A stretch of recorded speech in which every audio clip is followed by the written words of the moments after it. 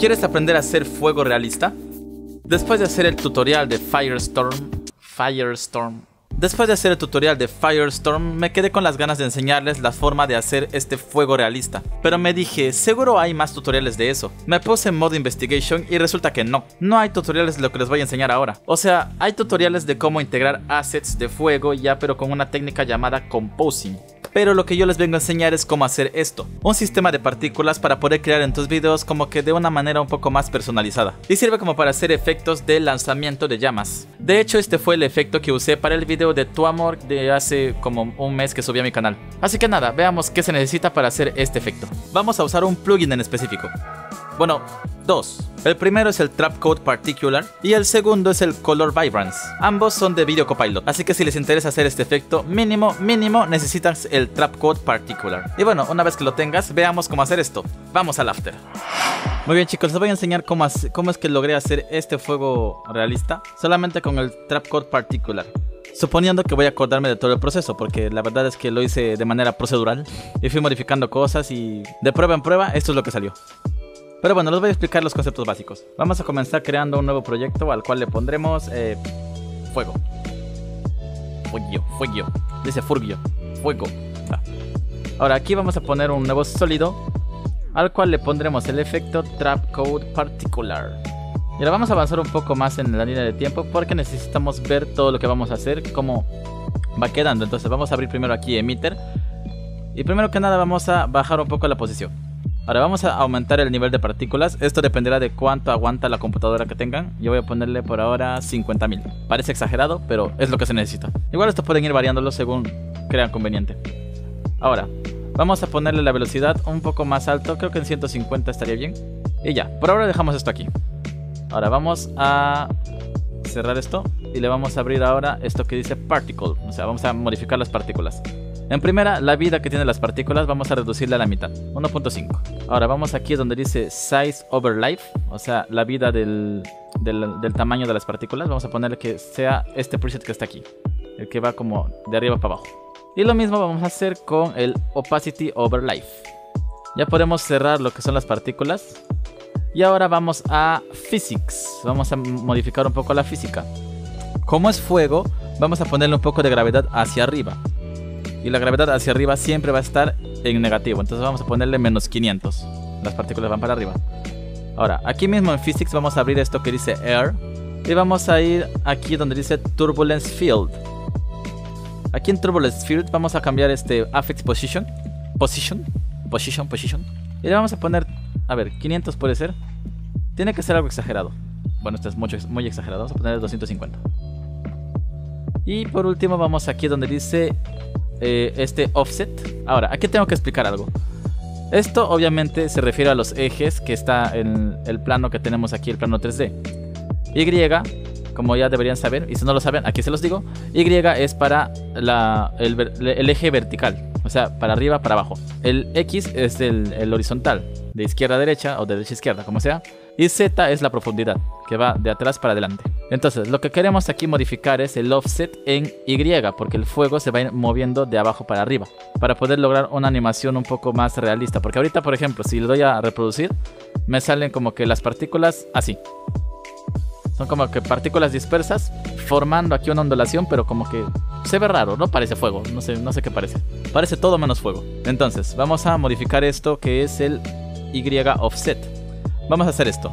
Mantienes presionado la tecla Alt y presionas en este relojito de la Y y al instante se te va a abrir este cuadro de expresiones. Aquí lo que vas a hacer es ponerle tiempo, bueno en inglés time, un asterisco que es la multiplicación y vamos a ponerle la velocidad que va a tener eh, la modificación. Ahora, acuérdate que para que vaya para arriba es negativo, entonces vamos a ponerle menos y yo creo que vamos a ponerle la misma cantidad que la gravedad. Entonces, si la gravedad está en menos 500, pues esto igual, menos 500. Entonces, ¿qué pasa cuando hacemos esto? Mira la previsualización.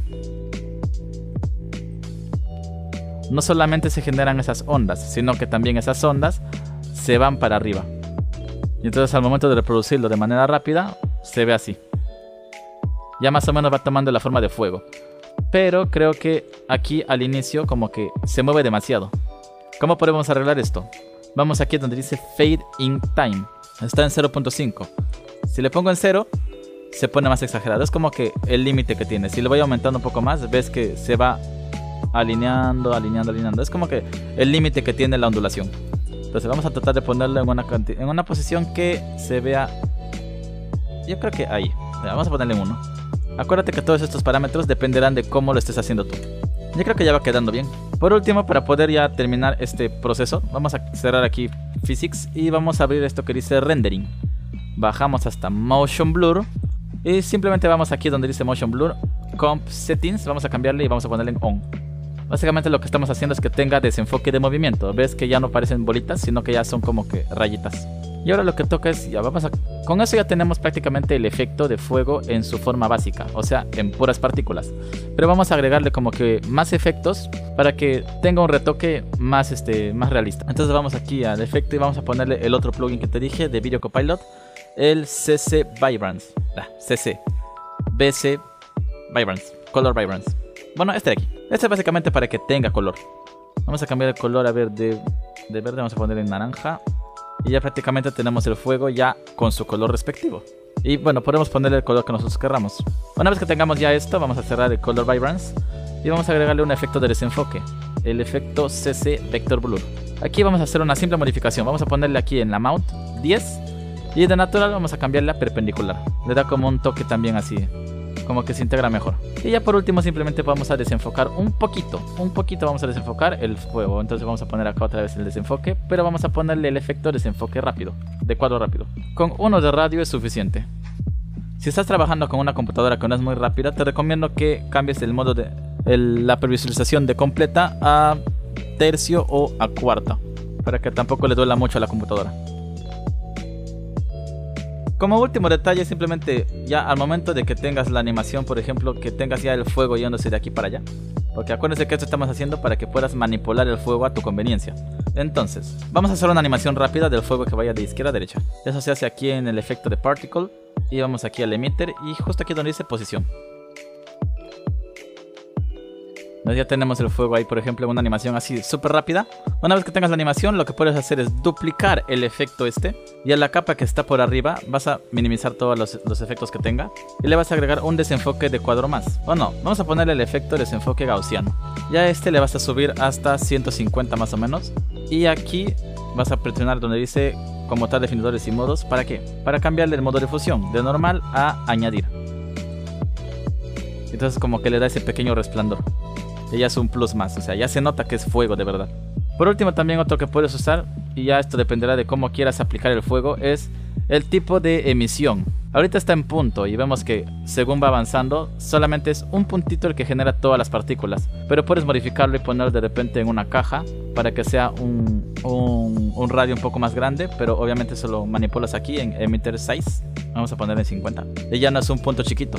También puedes cambiarle a sphere, que yo creo que como es fuego deberías usar más el sphere. Y ya te le puedes poner el tamaño que quieras.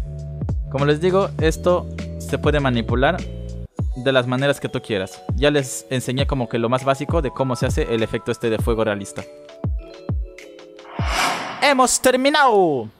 Espero que les sirva esta técnica. Recuerden que consume muchos recursos de la computadora, así que tengan un poco de cuidado en cuánto es la cantidad de las partículas que genera el, el, efecto. No quiero saber que sus PCs explotaron por mi culpa. Y bien, con esto termina el video de hoy. Si les gustó como expliqué, no duden en dejar su like, no les cuesta nada. Y suscríbanse para ser parte también de esta linda comunidad. Recuerden que Dios los ama y que nunca los va a dejar solos. Yo soy Matt Maker y nos estamos viendo en un próximo video.